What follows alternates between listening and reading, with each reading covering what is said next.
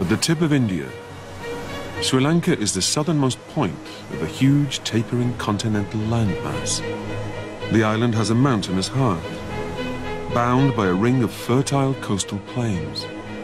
Rivers litter the land, and together with strange weather patterns, these are the perfect ingredients for an underwater paradise. To the east, west and south, the ocean stretches unbroken for thousands of miles.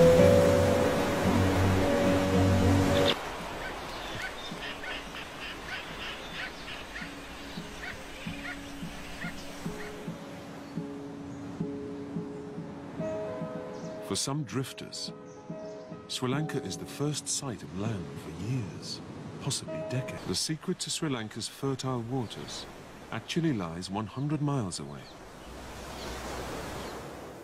It's a story that begins on the highest peaks.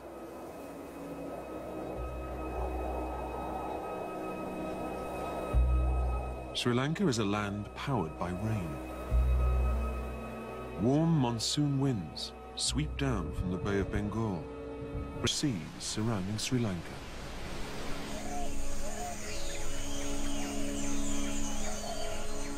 Starting life in mysterious high-altitude cloud forests.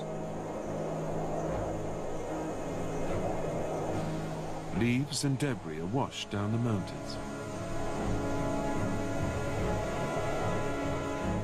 They work their way through impenetrable jungles.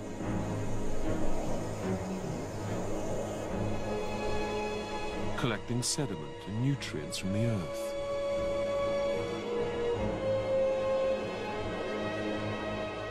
En route, they water vast plantations of green gold, famous Ceylon tea.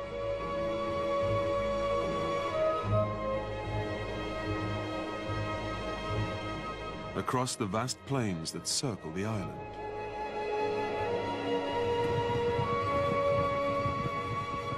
Where great wild herds are sustained by the life-giving water.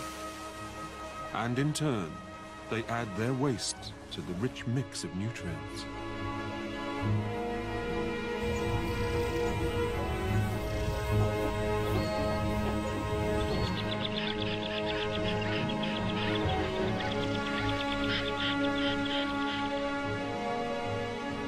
They finally mix with the sea in brackish swamps, the mangroves.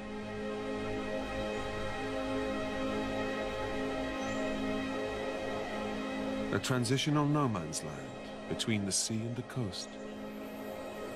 Of cormorants, egrets, and painted storks gather in large, excited breeding colonies. When food is abundant, it's the safest time to raise a family.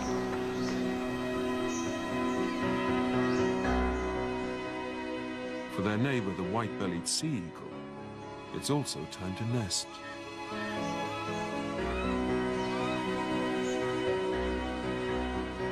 These graceful flies mate for life. Each year, acrobatic flights in unison renew the pair's bonds.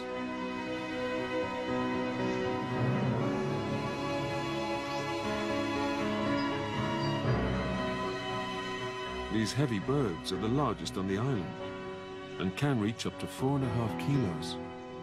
Deceived by an illusion of endless bounty, the fishermen here seem to constantly work the sea. This creates a unique coast, possibly unlike anywhere else in the world. The continental shelf is particularly narrow, and along some stretches, the deep ocean pinches in extremely close to the shore. The presence of deep water so close to land gives access to a true ocean giant.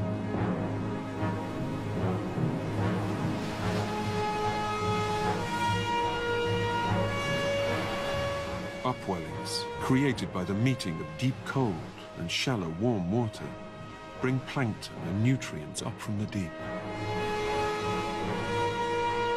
With a double monsoon constantly pumping more nutrients out to sea, this all attracts the largest animal to have ever existed.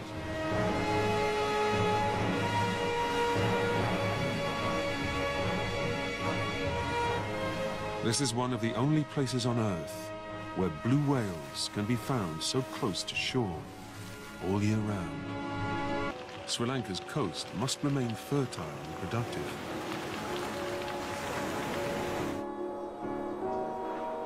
Yet the fate of this sea is tied to the land and the rivers that feed it.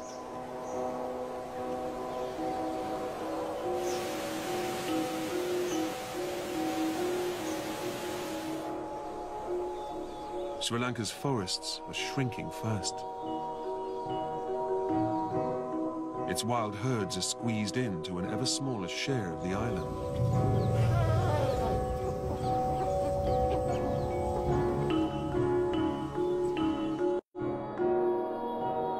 But ancient Sri Lanka sculpted this land in a way that benefited nature.